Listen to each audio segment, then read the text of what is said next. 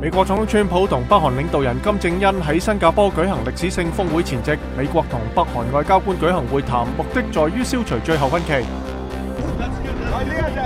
意大利同马耳他拒绝俾一艘载有超过六百名移民嘅船靠岸之后，西班牙喺星期一同意俾呢艘船靠岸。阿富汗首都喀布爾嘅政府部門外發生自殺式爆炸事件，十二人死亡，三十一人受傷。東部城市贾拉拉巴德嘅襲擊有十人受傷。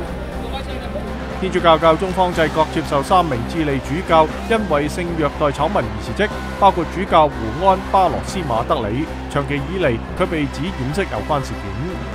據泄露嘅電子郵件披露，英國脱歐運動嘅最大捐助者阿隆班克斯喺脱歐公投前曾經多次同俄羅斯官員會面。